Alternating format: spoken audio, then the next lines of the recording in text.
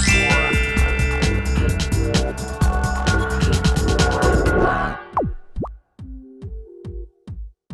สดีสวัสดีครัค่ะบผมป๊อกธเนศม่วงทองครับ ดรซีอภิวดีปิยธรรมรงค์ค่ะ ขอต้อนรับคุณผู้ชมเข้าสู่รายการ ว้าว วิทย์ช่วยเศรษฐกิจชาติ รายการที่จะนำเสนอถึงผลงานอันสุดยอดของนักวิจัยไทยที่จะทำให้คุณผู้ชมต้องร้อง ว้าว ถึงประโยชน์ของงานวิจัยและความเก่งของคนไทยกันค่ะ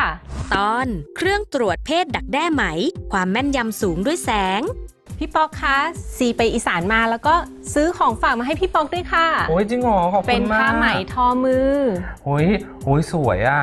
โอ้ว่าแต่ผ้าไหมผืนนึงเนี่ยต้องใช้เวลานานมากเลยเนาะในการทอเนี่ย ใช่แล้วค่ะพี่ป๊อกพี่ป๊อกรู้ไหมคะว่าผ้าไหมที่ดีต้องเริ่มตั้งแต่การมีพันธุ์ไหมที่ดีเลยนะคะอืมซึ่งเจ้าหน้าที่กรมหม่อนไหมเนี่ยเขาจะคอยพัฒนาไหมพันธุ์ไทยลูกผสมที่ให้เส้นไหมที่ยาว แล้วก็คุณภาพดีให้กับเกษตรกรค่ะอืม การทำนะคะต้องเริ่มตั้งแต่การคัดแยกเพศดักแด้ไหมเลยนะคะ เดี๋ยวนะ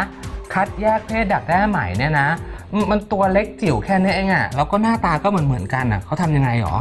โอ้เขาก็ต้องอาศัยผู้เชี่ยวชาญค่ะ เขาจะสังเกตจากจุดเด่นตรงก้นของดักแด้ไหมค่ะอืมแต่เดี๋ยวนี้มีวิธีการคัดแยกที่ง่าย แล้วก็สะดวกมากยิ่งขึ้นแล้วนะคะเฮ้ยหรอ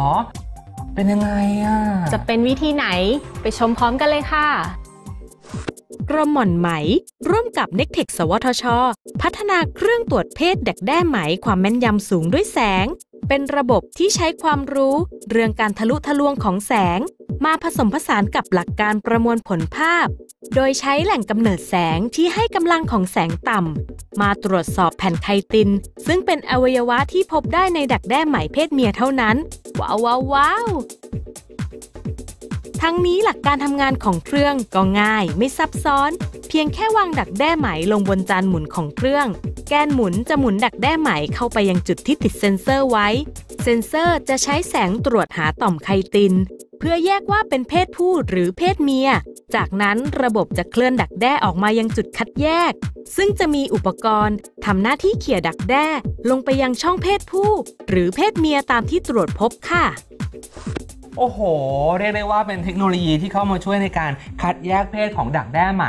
ได้ง่าย สะดวกแล้วก็แม่นยำเออว่าแต่ดักแด้ไหมที่คัดแยกเพศแล้วเขาเอาไปทำอะไรต่อสิเขาจะเอาไปพักไว้ก่อนค่ะพี่ป๊อกอืมรอเวลาที่ดักแด้ไหมลอกคราบออกมาเป็นผีเสื้อตัวเต็มวัย แล้วจึงนำไปผสมข้ามพันธุ์กับพันธุ์ไหมที่ต้องการ อ๋อ อย่างนี้นี่เองอะ แล้วตอนนี้นะคะมีการติดตั้งเครื่องตรวจเพศดักแด้ไหมความแม่นยำสูงด้วยแสงอืมในศูนย์หม่อนไหมเฉลิมพระเกียรติหลายจังหวัดแล้วนะคะ สุดท้ายนะเราก็จะได้พ่อแม่ไหมพันธุ์ดี ซึ่งเอามาผลิตเส้นไหมที่มีคุณภาพให้กับเกษตรกรไทยใช่ไหม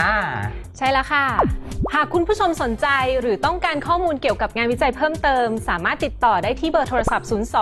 02-564-8000 หรือ Facebook n a s t a Thailand ค่ะ ครับผมแล้วกลับมาพบกับเรื่องราวสาระดีๆทางวิทยาศาสตร์และผลงานอันสุดยอดของนักวิจัยไทย ที่จะทำให้คุณผู้ชมต้องร้อง ว้าว กันได้ใหม่ในครั้งหน้ากับรายการ ว้าว วิทย์ช่วยเศรษฐกิจชาติสำหรับวันนี้เราสองคนต้องลาไปก่อนนะครับ สวัสดีค่ะ